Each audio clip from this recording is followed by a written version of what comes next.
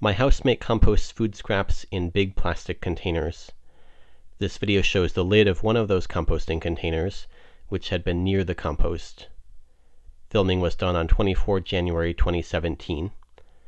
You can see lots of tiny white springtails on the lid, as well as a moth larva and various dead bugs.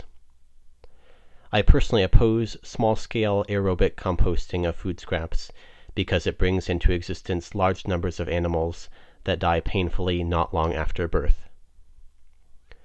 The rest of this video shows these creatures with music in the background.